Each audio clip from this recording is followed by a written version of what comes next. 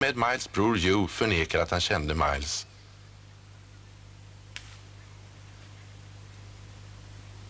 Hugh! Min bror Miles dog i kriget för sju år sedan. Dog? Du måste skämta. Jag lever, ser du väl. Lever och andas. Du kan ju inte se rakt igenom mig. Jag är ju inget spöke. Du är en inkräktare. Du trodde kanske jag skulle gå på den historien. Men jag är en samlad man. Alls ingen blödig typ. Tvärtom. Släng dem i fängelse. Vänta. Det finns åtminstone en som kan intyga vem jag är. Sänd efter henne. Hämta henne. Man sände efter Edith, Miles gamla fästmö. Edith! Edith! Titta ordentligt nu. Är den här personen din bror Miles Hendon? Nej, jag har aldrig sett honom förut. Edith! Den kvinnan är min fru. Och nu har jag definitivt fått nog av den här så kallade föreställningen. Din fru? Är du gift med Edith? det stämmer. Det här ska du få sota för, Jo. Jag, den verkliga arvingen till Hendon Hall, ska låta hugga av ditt huvud.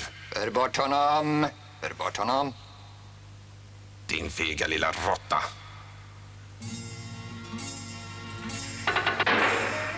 Är ni okej? Okay? Ja, oroa dig inte, grabben. Det här landet är mitt och det är min eviga sanning. Jag tror dig. Här i världen finns många som trots att de talat sanning aldrig blir trodda. Tack. Tror du på mig nu? Att du är kung Edvard menar du? Ja. Ja, jag tror det faktiskt. Men varför letar de inte efter dig? Alla i slottet tror jag tiggaren Tom att han är jag. Men är han verkligen en sån dålig pojke? Jag undrar jag. Han försökte att göra gott för alla de fattiga i alla fall. Men om han vore ärlig så ska han lätt med en konungs hjälp kunna finna mig. Men han är en lömsk typ och han bryr sig inte om att leta efter mig. När jag kommer tillbaka till slottet ska jag låta halshugga honom. Till kröningen som skulle göra Tom till kung var det nu bara tre dagar kvar. Tom ville inget hellre än att Edvard skulle återvända innan dess. Han beslöt att sätta ut prinsens porträtt i alla tidningar i landet för att söka finna honom. Att sända ut uh, till alla tidningar i hela landet, säger Ers Majestät. Hans Majestät letar efter en pojke som han påstår är den riktiga kungen. Om jag låter något sådant komma ut över hela landet så kommer alla att tro att kungen är sjuk i huvudet. Oj, oj, oj, så jobbigt det är att stå hela tiden han är vaken. Men han blir så upprörd om jag sätter mig.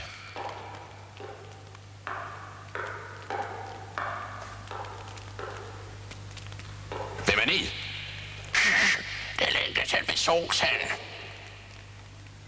Den här mannen hade funnits på händen håll långt innan Miles får ut i kriget. Miles hade på något sätt hjälpt den här mannen. Vakten berättade allt som hänt under Miles frånvaro. När Hugh hade återvänt från kriget hade han insisterat på att dödförklara sin bror Miles.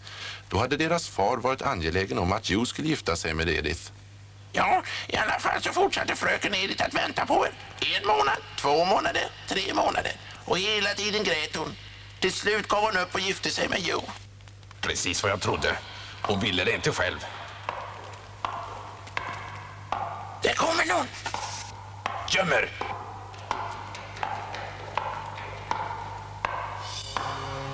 Åh, oh, Edith. Du kom. Edith, du kom. Jag har kommit för att varna er, min herre. Ni är mycket lik mannen som min make fruktar. För övrigt är ni mycket lik mannen som jag älskar. Ja, men det är ju jag, Edith. Miles. Nej, det är inte sant. Miles Hendon är död. Han är död. Sluta nu, Edith, för guds skull. Hör på mig. Min man känner ingen barmhärtighet.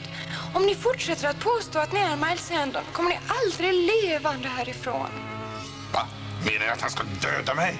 Om ni ändrar er och säger att ni är en vanlig inkräktare så kommer ni undan med en obehaglig rättegång. Det kan jag inte säga. Miles, jag menar, min herre, var snäll och gör som jag har sagt. Edith. Oh. Var snäll, se till så att ni inte blir dödad. Åh, oh, Edith. Edith!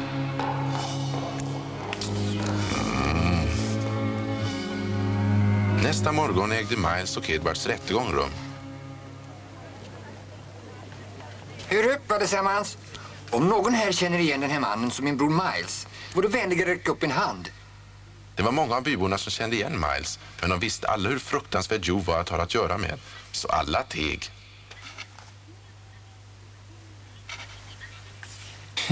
Hörru luffare, är det min bror Miles Hendon? Svara mig. Jag vill veta sanningen nu. Svara mig. Säg något nu.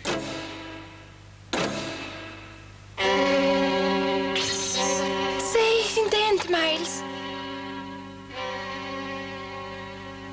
Nej, jag är inte Miles. Jag tar tillbaks mitt påstående. Dumma! Jag ber om förlåtelse. Jag är bara en inkräktare. Fiska upp honom och jaga sedan iväg honom från mina marker. Dad. Oh. Hi. Oh. Ow. Ow. Oh.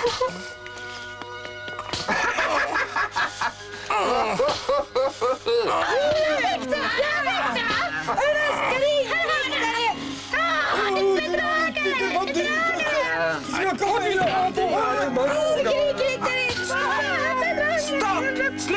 Säga! Vet ni inte skäms? Den här mannen står under mitt beskydd. Jag kan inte tolerera det ni håller på med. Hörru grabben, tror du att du kan komma undan piskan bara för att du är en liten unge? Piska grabben också. Stopp! Vänta, den här pojken är lite konstig i huvudet. Ni måste förlåta honom. Jag ber er ödmjukt, ädla herre. Okej då, släpp honom. Vad säger du om jag ger dig grabbens pisklag också?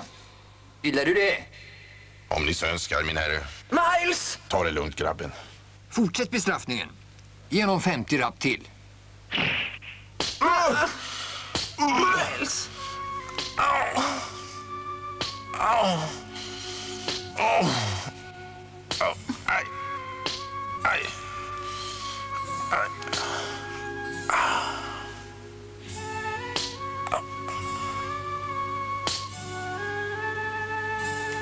Människorna stod nu bedrövade och såg på när Miles blev piskad.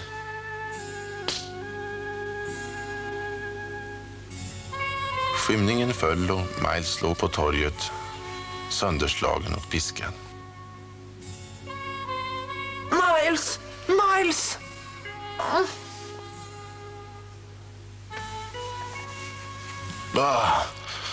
Ah. Edith! Så modigt du uthärdade allt. Här, smörj in dig med den här oljan. Tack så du ha, Edith. Är du okej, grabben? Ja, jag är ledsen. Bara för min skull. Det är inget att bry sig om. Hur ska jag någonsin kunna tacka dig för allt du har gjort för mig? Jag, Edvard, Englands kung, ska adla dig. Stå upp, Sir Miles Nej då. Nej, det behövs inte. Men jag skulle vara tacksam och för tillåtelse att få sitta ner. Jag är alldeles för trött för att stå. Visst, ett privilegium bara för dig. Jag tillåter dig att sitta i min närvaro. Tack. Vad gör Joe? Vad gör Joe nu? Han har åkt till London. Det sägs att kung Edward ska krönas imorgon. Kröningen! Miles, jag måste tillbaka till London. Va? Jag startar omedelbart. Vänta! Vänta! Och så sprang prins Edward iväg. Han fick inte lov att komma för sent till kröningen.